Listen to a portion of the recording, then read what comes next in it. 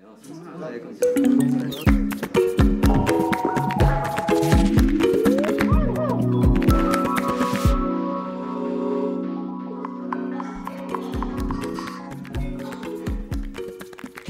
Bon vespre. En aquest dimarts, com cada dia, des del Connecta Lleida Pirineus, passejarem per tot el territori lleidatà, on celebrarem l'aniversari dels bombers de Puigcerdà.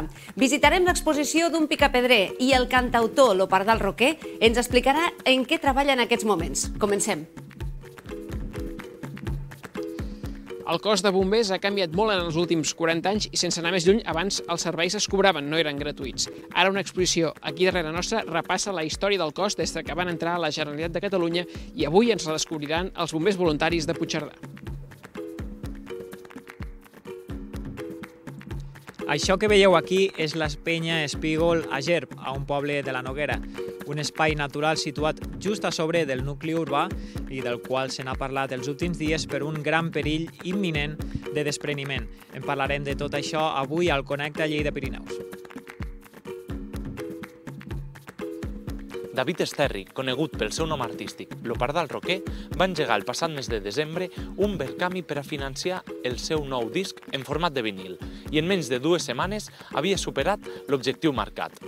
A Connecta Lleida Pirineus hem anat a casa seva, al seu estudi, per a parlar amb ell sobre el que serà el seu setè disc.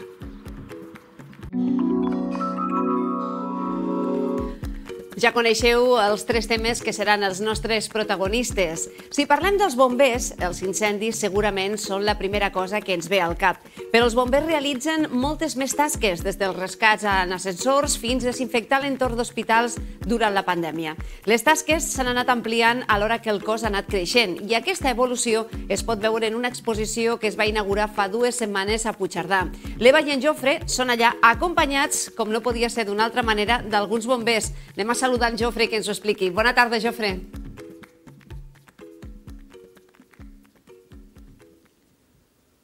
Hola, bona tarda, Mariví. Doncs sí, som aquí a l'Arxiu Comarcal de Cerdanya, on hi ha aquesta exposició que commemora els 40 anys des de que els bombers es van integrar a la Generalitat de Catalunya. Tenim material divers, material històric, i els bombers de Puigcerdà han participat activament a, a construir aquesta exposició. Ens acompanyen avui aquí tres dels seus membres.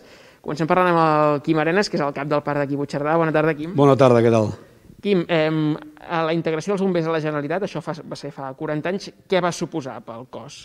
Home, va suposar un canvi a nivell de, de formació, a nivell de vehicles i a nivell de que la comarca guanyava una mica de, de protagonisme en el sentit de que estaven més ben coberts que el que es portava antigament. Clar, després el, el material també ha anat evolucionant molt. Eh, vosaltres ja heu portat eh, diverses coses. Eh, li preguntem aquí a, a l'Isidre, eh, perquè aquests trajos són els que portàveu originalment, no? Tu els vas arribar a portar, de fet, sí, sí, sí. és el teu trajo. Efectivament, és el meu, el meu casc i tal. Aquest era el, el, el que portàvem abans, que era un casc de ferro amb una jupa de, de cuir, amb aquesta picassa aquí penjant, o sigui, amb aquestes botes. Això era el que es portava per, per treballar, per fer les feines de bomber. Després també teníem el tratge aquest que és el de gala, que eren les festes i en commemoracions i tal, és el que ens posàvem. Sí, sí, això era el que abans portàvem. I això ha anat canviant, de fet ens acostem a, a veure una mica com ha anat eh, modificant-se aquest trajo i guanyant, no suposo, perquè de pes eh, aquell era bastant... Sí, sí. El, el tenim aquí, no? El tenim aquí. Aquí davant tenim el, el primer tratge que vam tenir, que ens va eh, portar la Generalitat de Catalunya, aquest era un, bueno, aquest de tipus vermell, amb el casc aquest que ja començava a ser una mica més, més pràctic i millor, amb les emissores, amb una llanterna, com veieu, ja podíem portar l'equip de respiració, i bueno, aquest va ser el primer quan va començar la Generalitat. I l'evolució seguiria cap allà, que tindríem... Sí, bueno, l'evolució continuaríem. Aquest ja és el penúltim que vam portar, eh, aquest ja era més modern, veiem aquí el cas, hi ha un F1, ja tenia, doncs, molt, ja eren preparats aquests ja més inífugs, i era un sistema una mica més modern per poder treballar i poder, poder fer la feina que ens tocava. I de fet, aquesta exposició commemora els 40 anys eh, d'aquest fet, però els bombers de Puigcerdà compliu justament aquest any 160 anys i sou un dels parcs més antics de Catalunya, no?, de voluntaris. Ah, voluntari, de voluntaris sí. O sigui, com a antics ja creuria que hi ha Reus i Manresa que també són molt, bastant antics. Jo crec que deuen anar al voltant de, del 155 o així, o 160 inclús una mica més. Però el que és pròpiament dit de voluntaris, Puigcerdà és un dels més antics, amb 160 anys. Clar, tenim membres d'edats diverses, eh, l'Isidre i el Jorge, que tu, Jorge, vas entrar quan fa exactament? Doncs encara no fa dos anys, eh, ara al febrer, farà dos anys que estic en actiu. I què et va portar aquest, a motivar a entrar dintre aquí al cos? La veritat és que sempre m'ha agradat eh, seguir els camions de bombers aquí a Puigcerdà, he anat a darrere i va arribar un moment que eh, se'm va presentar l'oportunitat de poder entrar-hi, em vaig presentar i aquí estic cosa va anar bé. Clar, vosaltres sou bombers voluntaris, això perquè la gent ho entengui, entre bomber funcionari i bomber voluntari, al final la feina és la mateixa, eh, és la categoria, no?, el que es distingeix, Quim? Sí, sí bàsicament l'únic que seria és la, el tema econòmic, tot i que nosaltres també per, per serveis i per, per, per hores que passem al parc perquè ens activen alguna emergència o el que sigui, cobrem també, però vull dir, bàsicament l'única diferència seria el tema de, econòmic. Per per lo de més, s'està intentant i es, es treballa contínuament perquè sigui ben bé igual. D'acord. Eh, I clar, eh, de tots els membres, l'Isidre potser és dels més antics no? que, que hi ha. Eh, quants anys fa tu, Isidre, que, que hi ets? Bueno, jo concretament vaig entrar el mes de desembre de l'any 81, o sigui que ja passa dels 40 anys. Per això que bueno, jo he viscut totes les etapes, des d'ajuntaments i diputació fins eh, va com fa la Generalitat de Catalunya fins ara aquest moment. I les tasques que heu anat fent han anat també canviant. Hem, de fet, veiem aquí també, em comentàvem abans, mm. una tasca que abans no fèieu, no? Sí, bueno, abans les tasques eren molt limitades. Principalment era apagar foc i eh, inundacions, treure aigua. Més endavant ja vam començar a fer d'altres tasques, com era la, amb aquests equips d'escarcelació, per als accidents de trànsit, moltes recerques, salvaments, i també el, el que va canviar moltíssim en aquella època va ser que ens van l'equip de comunicacions, el que eren la, les emissores i tot el que era la informàtica, tot això va començar ja pues, a anar millor. I un record així que et marquis especialment de, de tota aquesta època? Bueno, a mi em va marcar principalment, eh, recient entrat, va ser les inundacions del 82 Allà vaig veure doncs, bueno, la feina que, que fèiem els bombers, vam treballar molts dies, vam estar treballant a l'Alt Urgell, el que és a Martinet, a Pont de Bar i tot el que és la Cerdanya, i aquesta és una de les tasques que em van marcar més. I per acabar també preguntar-vos, avancem cap allà per acabar de veure tota l'exposició, eh, com a reptes que té el cos per davant i concretament en el vostre parc, eh, què hi ha per millorar encara aquí? Home, la, la millora bàsica que ara ens, fa, ens faria falta seria que entrés més personal, tot i que a la convocatòria de, del Jorge van entrar quatre, quatre companys, va ser una convocatòria llarga i feixuga, i ara estem pendents de que amb aquest any entraran quatre membres més a l'escola i a finals d'any podrem tenir la incorporació de quatre membres, que dos seran dos dones. Clar, perquè també la presència femenina és escassa en general, no?, tot el, tot el cos. Sí, ara nosaltres contem només amb la, amb la Eva, que és la infermera, de, i, que, és, que forma part del GEM, que és un grup de, d'emergències mèdiques de, dintre de bombers i de moment no tenim cap més dona i ara doncs, amb aquestes dues noies tindrem tres, tres noies que estaran formant part del cos. Molt bé, doncs gràcies als tres per explicar-nos una mica el recorregut de, del cos, de, del vostre parc fins a aquest moment i ja ho veiem, reptes que s'han anat superant, reptes que encara queden per davant i en el cas dels bombers de Puigcerdà doncs, també eh, ha sigut premiada la, la seva feina. Van rebre l'any 2018, aquí tenim la, la Creu de Sant Jordi i aquesta exposició que serà itinerant es podrà veure aquí a Puigcerdà fins al 14 de març, uh -huh. coincidint justament amb la celebració del patró dels bombers, que és Sant Joan de Déu, el 8 de març. Fantàstic, gràcies Jofre per portar-nos aquesta realitat i felicitats. Nosaltres, com cada dia, connectem amb la redacció de Lleida Televisió. Ens està esperant Eva Cortijo per fer-nos l'abans informatiu. Eva, bona tarda. Hola Mariví, bona tarda. Doncs sí, més de 90 entitats s'han adherit a la plataforma contra els macroprojectes energètics de les Terres de Ponent per exigir la paralització dels traçats de noves línies de molt alta tensió. L'entitat vol fer diferents mobilitzacions per replantejar el model energètic. Aquesta serà la nostra notícia de portada en aquesta jornada en un dia en què també acabem de saber que la Generalitat no demanarà allargar el toc de queda més enllà del 20 de gener. També hi ha d'altres informacions destacades, com que un accident ha tallat durant bona part del matí la carretera C26 al seu pas per Artesa de Segre i ens convertirem en abelles, que això t'agradarà, per parlar de la importància d'aquests insectes amb els més petits. Ho farem amb un nou joc de taula que, a més, és solidari.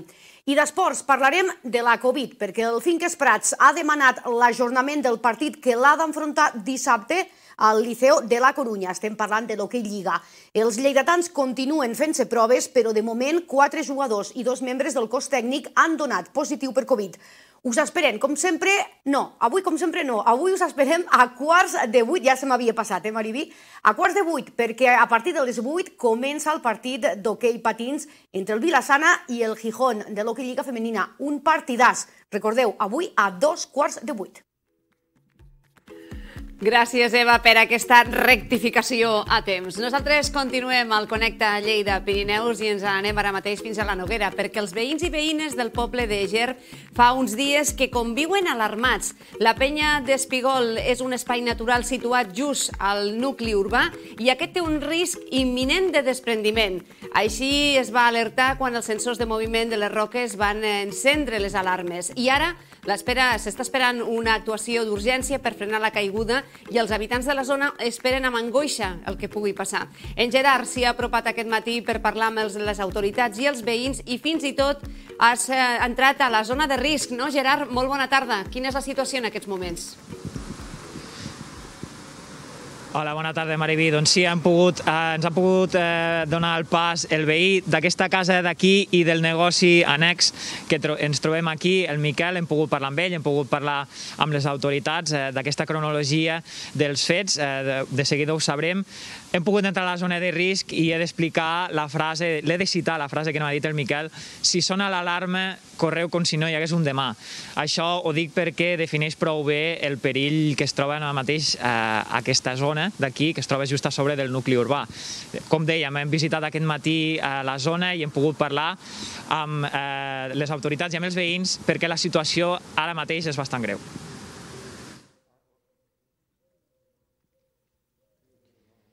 La penya Espígol és un espai natural molt important pel poble de Gerb, però amb una alarma de fons que ha encetat un cert enrenou els últims dies, i per això en parlarem primer amb la Paqui.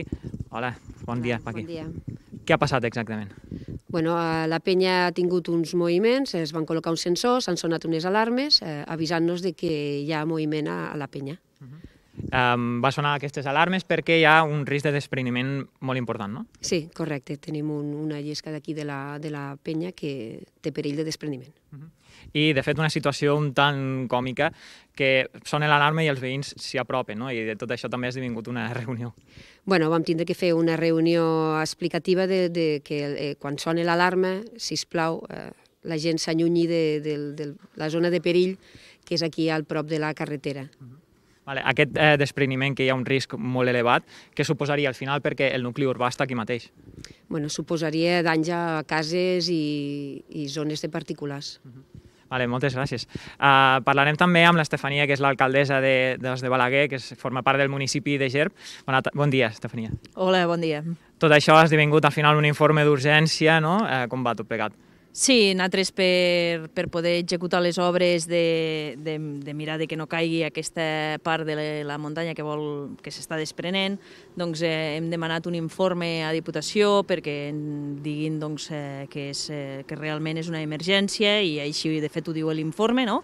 s'ha de fer eh, obres eh, d'emergència i ara ens toca reunir-nos amb l'empresa que pugui fer les obres i juntament amb l'enginyeria que, que porta tot el tema doncs, eh, mirar a veure què és el que ens acaba de fer falta per poder-les començar el més aviat millor. Quines serien aquestes obres? Quina és la solució?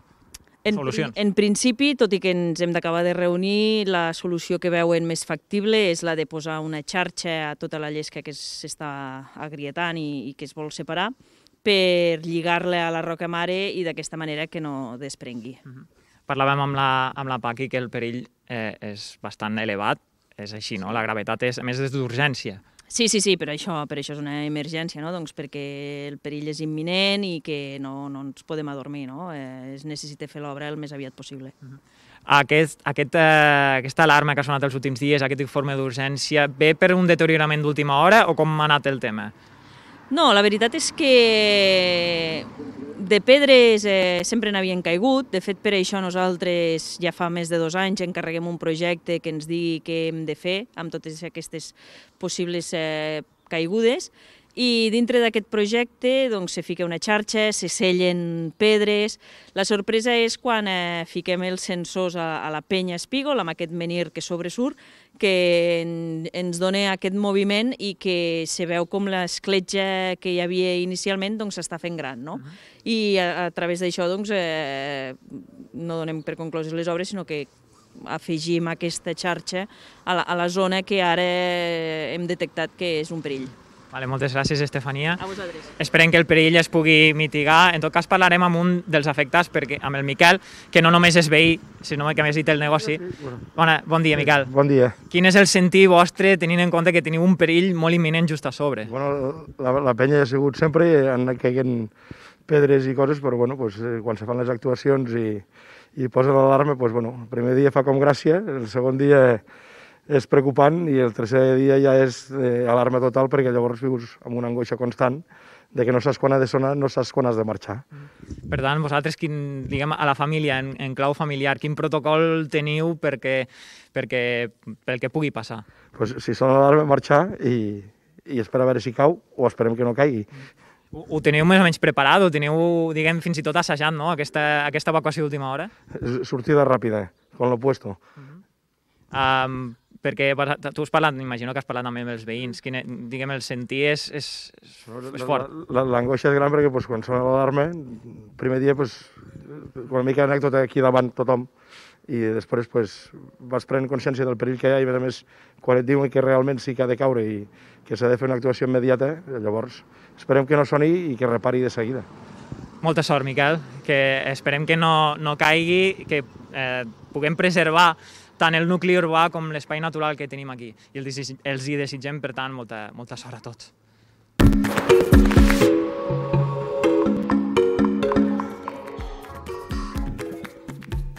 La nostra proposta cultural avui us parla d'una obra de teatre, ja que el dijous, dia 13 de gener, podeu veure aquest espectacle, Teatre Nana, o allò que hi ha després del diumenge, a càrrec de Maga Produccions, una, mesa, una peça que mescla tècniques d'il·lusionisme i l'audiovisual. És un viatge boirós que vol aproximar-se a l'interior de la persona atrapada en un món real que es difumina i un món subjacent que es manifesta cada cop més mitjançant una atmosfera que és familiar i també a la vegada desconegut. Voleu saber més? Dijous al Teatre de l'Escorxador.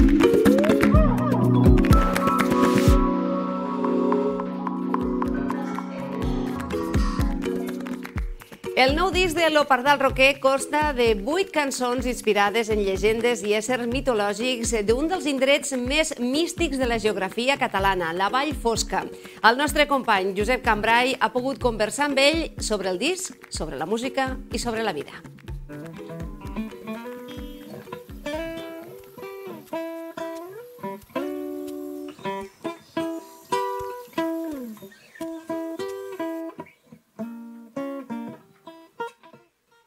La llavor del, del disc, aquest conceptual de la Vall Fosca, dedicat a la Vall Fosca, ja havia sortit abans perquè tenim allí amics i de tant en tant hi anem, especialment a l'estiu, perquè l'hivern fa molt fred.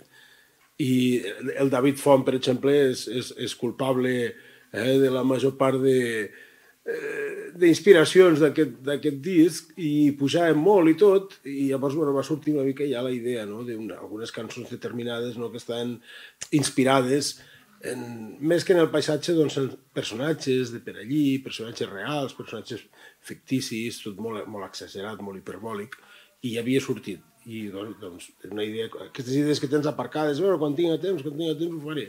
Doncs bé, amb el, amb el confinament vam tenir aquell temps no? per, per començar-ho a treballar. I, I bé, doncs és, una, és una zona realment màgica, realment especial, la forma de vida, tot, no? I una zona molt inspiradora. I allí ens vam inspirar perquè de, de tant en tant doncs, hi pujàvem a l'estiu uns dies i allí va anar sorgint no, aquesta idea de fer un disc dedicat a la Vall Fosca com si, eh, és molt hiperbòlic tot, no? com si fos una, una, una terra mítica, una terra no? extraordinària, tot això, amb els costums, llegendes, tot allò, però super exagerat i sempre amb el to humorístic i, i sarcàstic no? que caracteritza doncs, una mica l'obra del, del Parc del Roquer. No? Bueno, vam enregistrar aquí, a l'estudi, que són les engolfes de casa, no?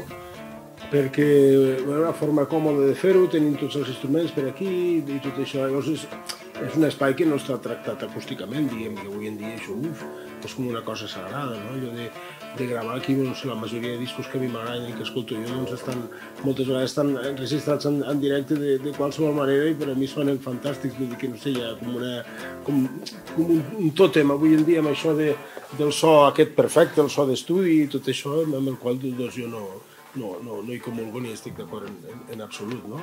De fet, bueno, ja us dic, inclús en, en, en discos gravats que m'agraden a mi, doncs eren estudis dels anys 50-60 que segurament no tenen res a veure amb, amb la concepció acústica que es té avui en dia, no? Llavors, és una mica tal, tal com res, tal com, tal com, com és l'espai aquest, que per mi sona molt bé també, hi ha fusta i tot, absorbeix i, bueno, i té una reverb natural també també bastant maca i bueno, vam voler aprofitar l'acústica natural. I regals camon, ven cami, cami, cami, cami, cami, cami, cami, cami, cami. Protegeix el més. Bé, doncs la idea aquesta del Verkami va sorgir, jo la tenia al cap de fer a temps, perquè tinc companys que els hi ha funcionat molt bé i tot això, i quan han aconseguit fer el del Verkami, i, i tenia certa reticència, no? perquè, a veure, un micromecenatge, d'alguna manera sembla que, que sembla, no? em semblava a mi, no? que bueno, primer que, que, estàs, que estàs com a demanant, demanant al moine, la gent demanant que t'ajudin, no? Ens fiquem una fita, un objectiu raonable, és a dir, assequible, no? I llavors, bueno, vam fixar un, un objectiu més baix, però, bueno, doncs el vam, el vam superar en poc temps, en, en un parell de setmanes, i vam aconseguir més, amb el qual, doncs, potser ens quedarà una mica per un proper projecte, que és el que esperem. El que destaca que ha, al començament, hi ha una, una instrumental que serveix a mode d'introducció, que és la que dona nom al disc, una nit una nit a la Vall Fosca, Night in the Dark Valley, i després hi ha les cançons dedicades a personatges de la, de la Vall Fosca, destaca Mètode Font com a cançó molt divertida, Font és, el, és la font, valgui la redundància, d'inspiració eh, nostra, eh, principal, i després també destacarem, al final de tot hi ha una, una que és popular, és a dir, és una versió, és a la muntanya, que és un tema popular de, de la muntanya, que es titula així, a la muntanya, i pel mig apareix una sorpresa que és un altre cop Som de l'Oest. Eh, és una nova versió, és una nova versió de, de, de Som o Soc de l'Oest, que era al principi, bastant canviada, us sorprendrà, eh? bastant canviada pel que fa a la música, és molt diferent, ha, és un to més baixa, amb un tipus de, de ritme bastant, un ritme bastant, bastant diferent, el beat canvia moltíssim, ha abandonat una mica aquell ritme més, més de country accelerat o rockabilly per passar a una cosa més, més, més continguda.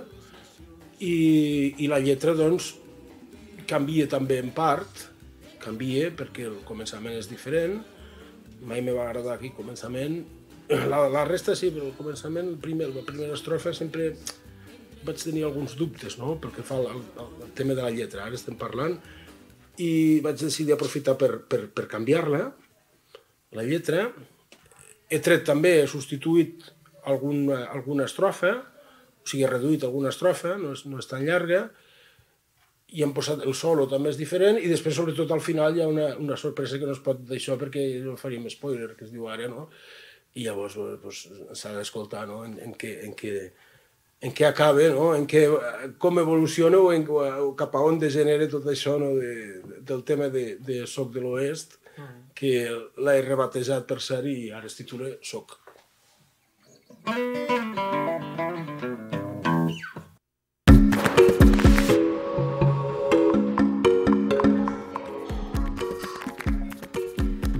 I marxem, com no podia ser, amb la música de l'Opardal Roquer, que ha aconseguit, com hem vist en aquest reportatge, l'objectiu que es va marcar amb el seu Verkami. I com ho demanava? D'aquesta manera. Fins demà. Kiko!